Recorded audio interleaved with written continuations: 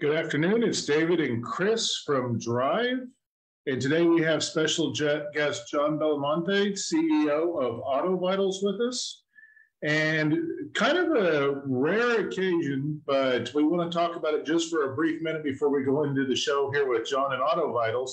But it's the first time in over two years that Chris and I and a few others have been together at our office and Drive. So it's so refreshing to be back in person, face to face, and everything and it just uh, really puts the importance to the Drive Expo that's coming up, where we're all going to be face to face, back together, getting to talk to people, interaction and stuff, and it, it's going to be so great. So we just can't wait to do that. And I know Jon and team at AutoVitals will be out at our Drive Expo, so we're excited about that. So let's get on to the show today now. So Jon, I know there's a lot of things that AutoVitals does, digital workflow, vehicle inspections and stuff. Let's talk about some of the the reasons why shops want to start talking about this and getting involved with this type of technology and what it means for their business. Yeah, absolutely. Thanks. Um, thanks very much for having me, by the way. And I appreciate you guys actually coming in the office for this.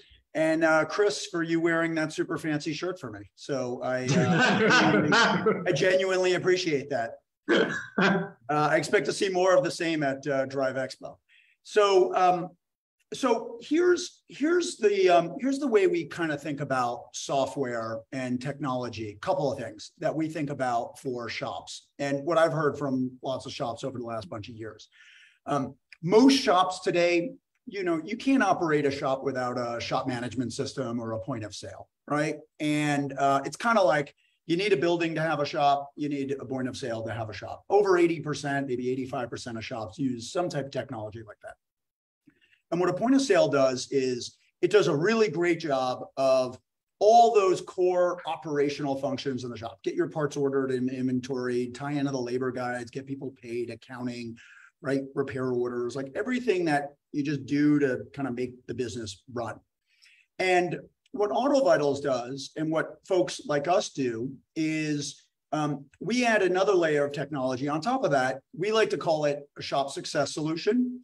And that's a dopey term that some college boy, me, made up like a year ago. but but what it does is it kind of represents all the software you need not to run those core operations of your shop, but to grow profitably right? So when I think about profitable growth, it's are you selling customers or are you encouraging customers to buy a lot more work, right? So shop customers and motorists come in, and are you really developing a sense of trust so they, they buy the most work possible? That's what a, a digital vehicle inspection does. Or are you making your shop so much more efficient that you can get 20% more labor hours or 20% more jobs done with the same number of bays or the same number of technicians. And that's what a really good piece of workflow software does. And once you got those things really humming, then you really want to maximize your car count. You want to get your retention up. So you need a good like CRM tool or maybe a loyalty rewards program, or you want to get new customers in to round out the folks, either the new capacity you created or round out the folks who um, maybe have moved on or left town or whatever the case is. And that's where you need websites and digital marketing and a lot of great things that, that you guys do. So that's that's how we tend to think about two sides of the software and technology landscape is you got the shop management system or point of sale and it's got its job, but you also need this shop success solution to grow profitably, open more shops, things like that. All right. Now, playing a little bit of devil's advocate in a way. Um, You know, let's say you've got a shop owner that they use their shop management system. They do inspections, but they're using you know clipboard and paper, and they print out their ROs, all that kind of stuff, and it works for them. Why why should they move to a digital solution? Yeah, it's a great question. So um, it it works for them, but it doesn't. I, I I would argue that it does not work as well as it could, right? So so if you think about if you think about the human behavior side of a customer coming into a shop, right? Um, I'll, I'll, give you I'll, I'll give you an example for myself, right? So you look at me. I'm sure you're shocked, but I can't fix my own car, and I don't know it. You know, I don't know enough to fix my car. Here's what the call sounds like today when it's a paper inspection, right? I get the call from the service advisor. Uh, hey, Mr. Belmonte, blah, blah, blah, blah, blah, blah, blah. We checked 20 things, blah, blah, blah, blah, blah. There's five things wrong. We really recommend you fix three. I'm going to explain them to you, but you have no idea what I'm talking about or if you know it's true. And it's $3,000. That's hard. That's very difficult for me. I'm, I'm, um, I'm uneducated. I'm uninformed. Um, it's not that I don't trust, it's not that I mistrust you as a shop, but I, if I'm newish to the shop and I have no information, um, I don't necessarily trust you yet, right? So I'm looking at my phone thinking, should I get another price on this? How do I even know that the brake cam is cracked or whatever the case is? What a digital inspection does is a couple of things. It creates a whole bunch of consistency on the shop side. So there's no pencil whipping, right? Or there's no rushing through a digital inspection. Like you go through and you got to check every different thing, right? And then um, at the same time, you've got um, the final sort of inspection that goes out to the customer or the consumer. And now I'm sitting there and it's like Amazon, right? On Amazon, I go, you guys are in the same same boat as me. I should I should send you this thing. I have this amazing device. It's basically what I use to kind of shave my head down. And it's got a vacuum on it and it's got all this stuff. And I found it on Amazon and there's a ton of pictures and there's a whole bunch of educational content in there maybe some raising ratings and reviews. And by the time I'm ready to buy that thing, like I am an educated consumer. Nobody called me. Nobody tried to sell me anything. And by the time I was ready to purchase, like I was really comfortable and in control. And that's what you want for a shop customer, right? You want you want for the shop customer to when you call as a when the, the service advisor calls, you want them to feel really comfortable. You want them to feel like they're in the driver's seat. And it's like, yep, I watched those. I, I, looked at the pictures you sent me. Thanks for circling the what's dirty or the cracks, and thanks for sending me educational content. Explains why these things are really important. Uh, I'm ready to go. I'm ready to talk.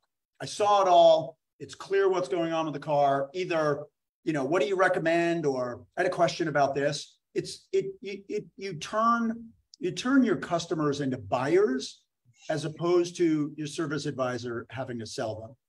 And that's why, I mean, you know, it's it's virtually proven over and over. If you're using a fully featured DVI or digital vehicle inspection system, you're following the best practices, you're looking at the reporting and make sure everybody does what they're supposed to do, like you will see at least a 20 to 30% increase in, in ARO. And I, you know, I've talked to tons of customers recently and they're like, yep, we doubled our ARO.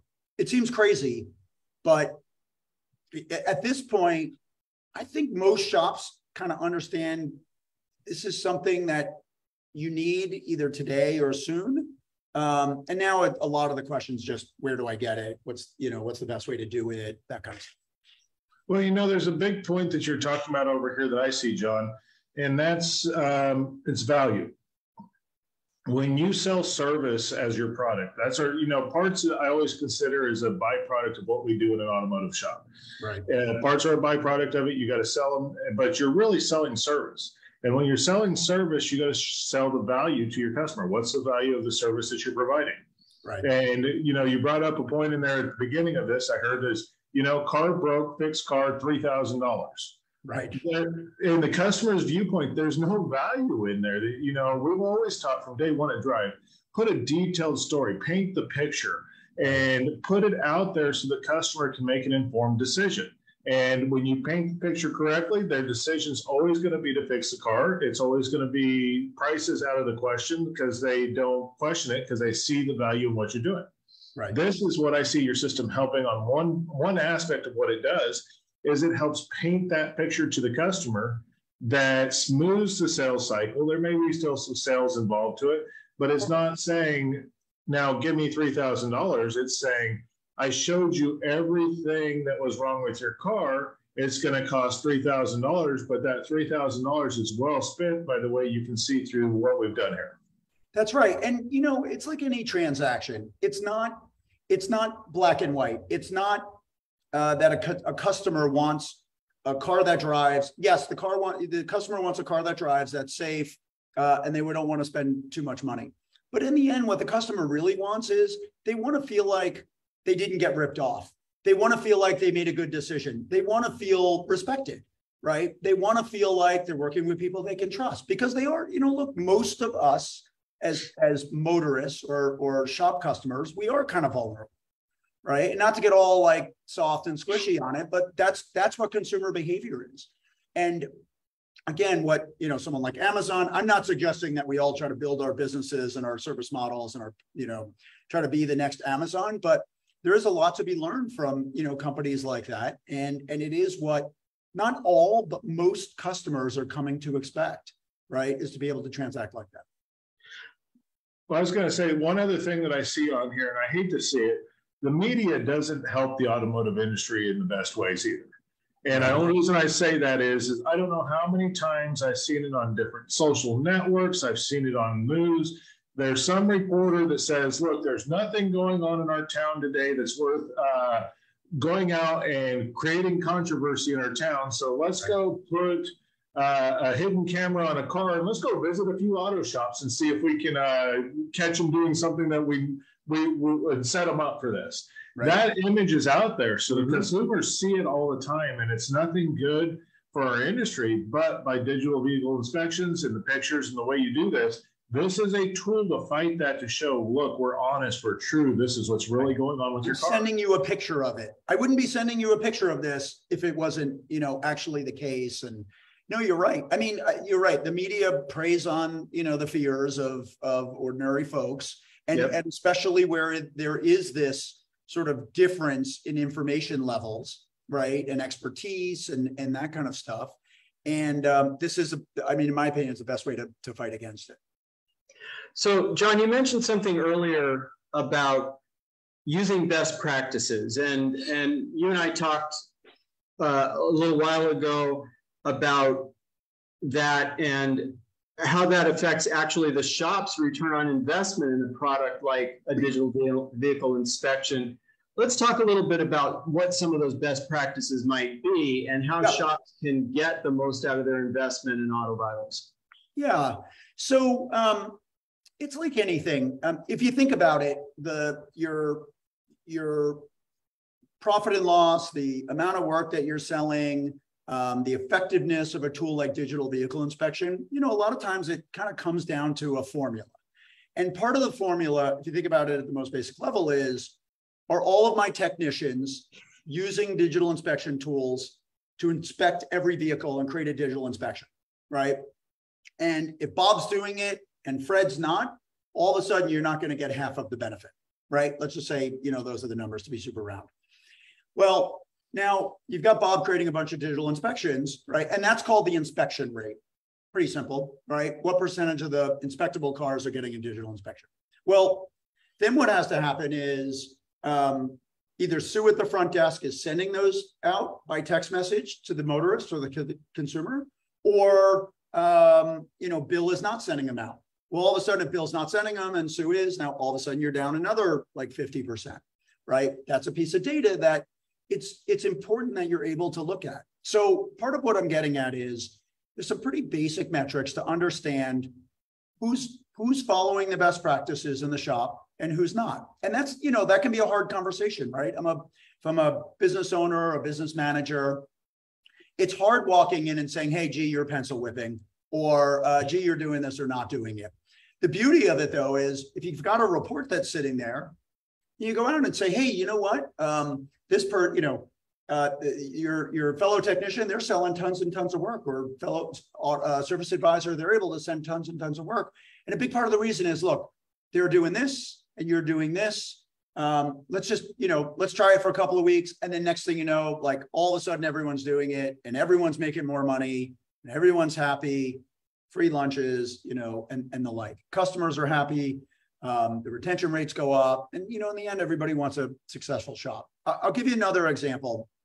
It's one of those stories. I love the story because it's pretty organic, right? Um, so we've got um, every every client we have has a dedicated um, customer success advisor, right? So it's not the person you call and say, "Hey, um, I don't see this RO." It's the person you call to make sure you're using the tools and getting you know real results and profitable growth out of it, or or more likely they call you. And we had two service advisors in a shop, right? Sue and Bill, like I was saying. They were doing the exact same thing. Really high inspection rates, high inspection sent rates, the same number of pictures, like you want to get 10 or 15 pictures in there. The service advisor needs to edit the pictures, like put an arrow and point at, you know, the defect or what's dirty or, you know, just the stuff that makes it more personalized and more um, transparent and trustworthy.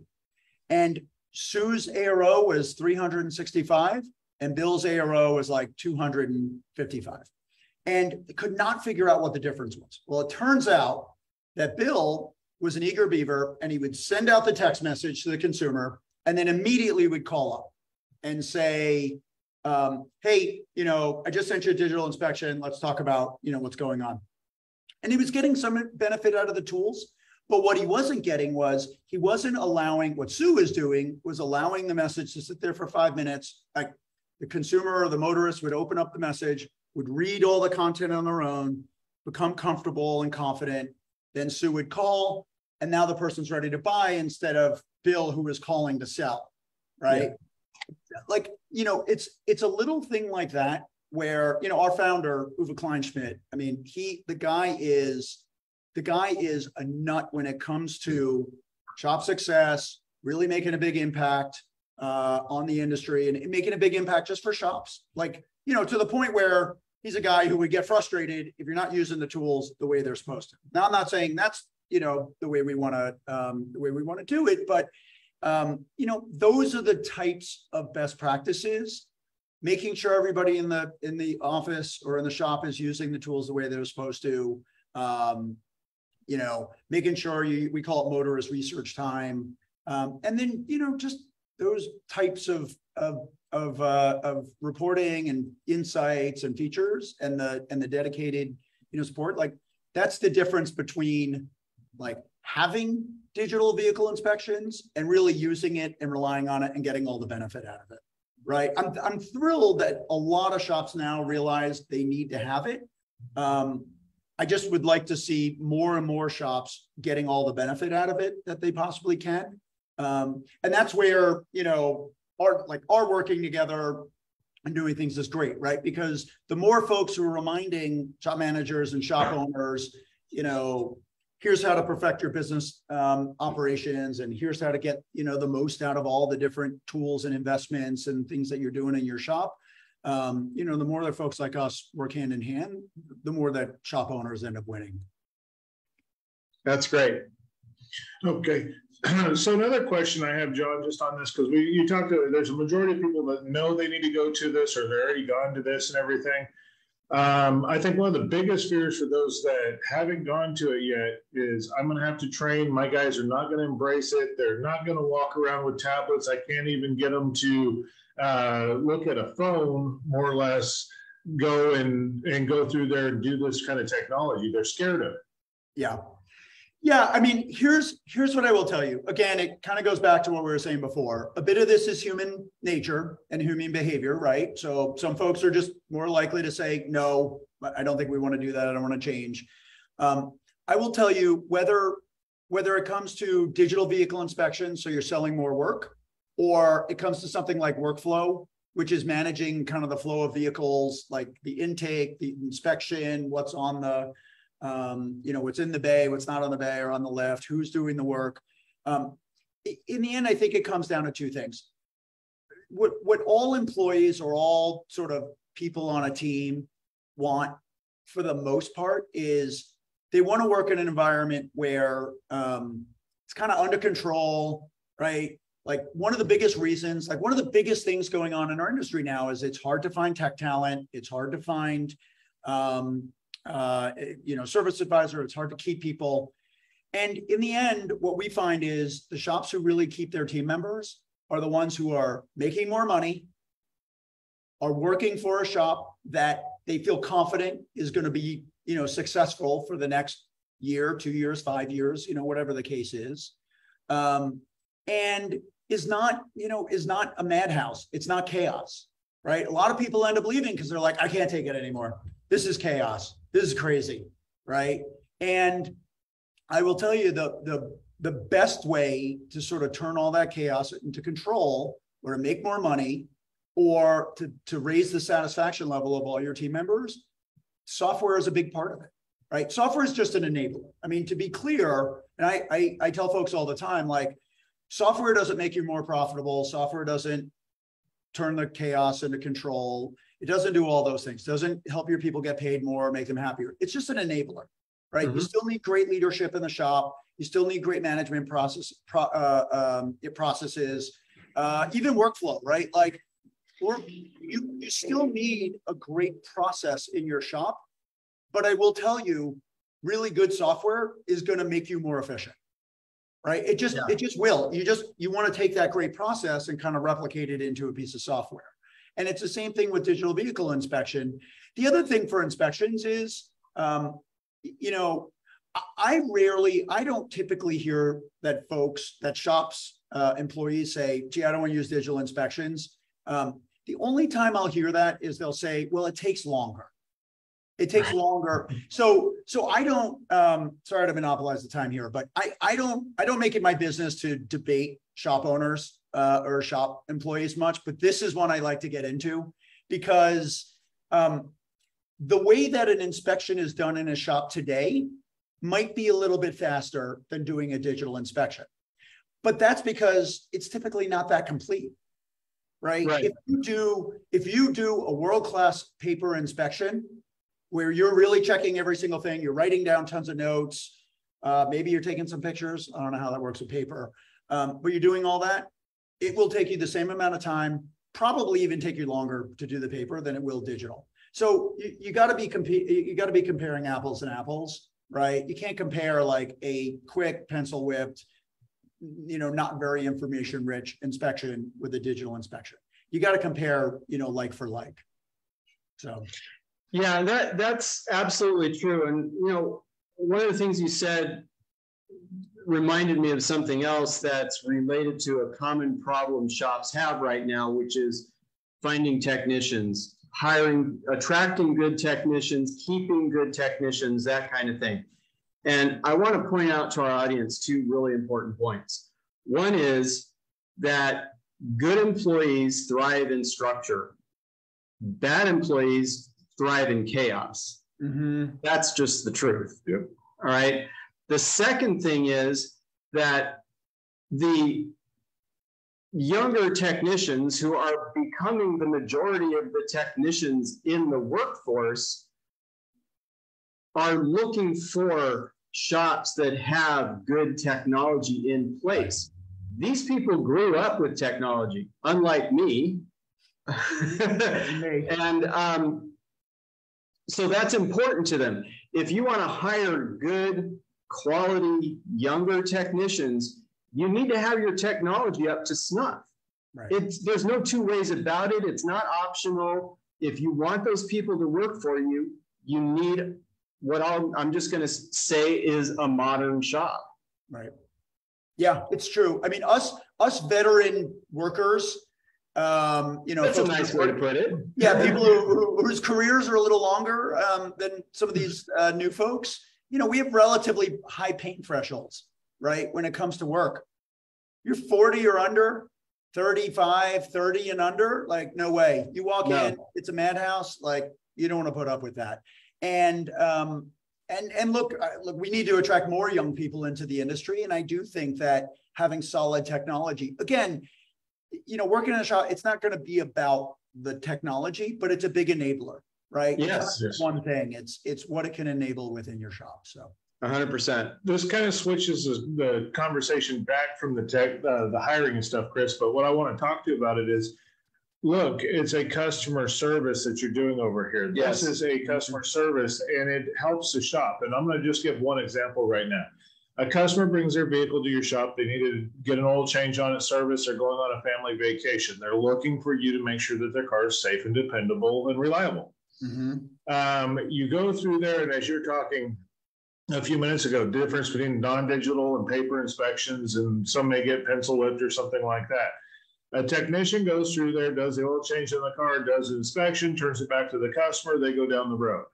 Okay, they're all happy and everything else. They get 300 miles down the road on their family vacation and they hear a squealing coming from the brakes. And then they pull over to a shop that they're not familiar with, out of town person, and they have to have that shop do an extensive repair on the brakes. Whose fault is it? Well, the first person they're going to blame is the shop they just came from, your their local shop.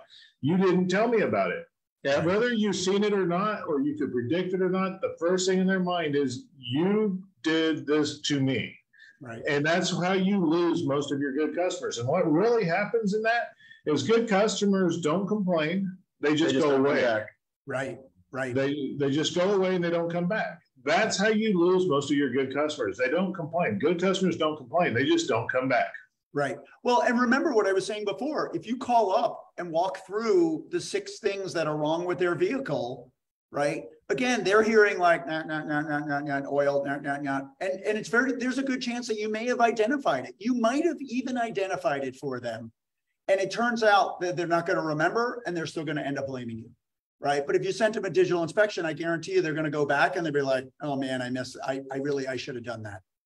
Right. Right. So That's it's absolutely it's both, correct. It's both, it's both the sides of you got to make sure that these inspections are complete, right? You know, customers, they won't feel like as long as you're not putting the hard sell on them and as long as you're always giving them good advice, like, yep, you really should do this now. Now you can wait on these things. The more you educate them, right, the better they're going to feel about the experience. And because they they want to feel informed, they want to feel, you know, safe, they want to feel like they're they've got this trusted relationship. So yeah, that's great. Okay, so on the points there, uh, you know, we're looking at efficiency. We, I know we're getting close to the time here, but I just want to kind of look at it. We're looking at a customer service improves efficiency. Um, we got a brief few minutes here, but how's it improve communications within the shop? Because that's where yeah. most things break down. That's where most problems and upsets within the shop and between staff members start. Yeah. So, um, so the biggest inefficiencies, the biggest inefficiencies in the shop today are a couple of fold. One is um, communication between the service advisor, the front desk, and then in the back in the the back of the shop. And um, so that usually today is people running back and forth, um, miss, you know, lack of information, misinformation, um, you know, which leads to technicians sitting around and waiting, or um, vehicles sitting in bays or up on a lift or you know or or having to build a whole bunch of buffer time into the schedule not taking as many appointments as you can or just not being able to give uh, customers uh, good information as to like here's what's going on here's when your vehicle is going to be ready um, all that kind of stuff so imagine imagine a system where at the front you've got the service advisor and the service advisor has, uh, you know, a view where they're able to look at all the stages. They've got two views. They can look at all the stages a vehicle might be in, the intake, the inspection. Did I lose you guys? I'm going to keep going. Um, you've got this, um, uh, the ability to say, okay, move this vehicle from, you know, intake into inspection, or move it for inspection uh, into waiting for parts right? And the and the um, the the technician has got a tablet, and rather than having to run back and forth or look at a board or erase things or you know whatever the case is, um, what they're doing is they look at their tablet and they say, "Oh, here's what's next up. Next up, do this inspection." Or next up, "Oh, I'm going to answer this question." There's a chat, right, that goes on from the service advisor to the technicians. Or uh, I'm going to, oh, provide me a picture of this, or, oh, what was go, remind me what was going on. Can you provide an update? All these updates are automated through a, um, uh, through a really easy to use interface. And what it does is it reduces all the downtime that we are talking about, uh, or the buffer time, the waiting time, the misunderstandings, the um, needing to get communication out to the, the actual customer. All of that gets completely automated right? So we had a shop. Um, I, I love the story. We had a shop, and the service advisor was wearing one of those little things on your those sports things on your wrist, and um, and what they did, and they, they would take like 15,000, 16,000 steps a day, which my understanding is that's a lot. And um, as soon as they implemented AutoVitals, Service Advisor was able to spend most of their time up at the front desk on the phone, uh, dealing with customers, dealing with folks, and then just sort of just uh, dispatching work, tracking progress on work, and uh, making appointments and all that kind of stuff. They could get a ton more work done. Um, and the technicians in the back were able to get a ton more work done. That service advisor went from 15 or 16,000 steps a day to like 5,000 steps a day.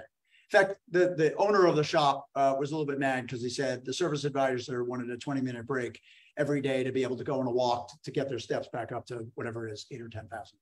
So um, again, I this is the area that is probably least um, known about and makes by far the biggest impact on a shop's performance, on their profitability, on the satisfaction of its employees, um, team members, and then also on the on the satisfaction of the um, the customers who are coming in.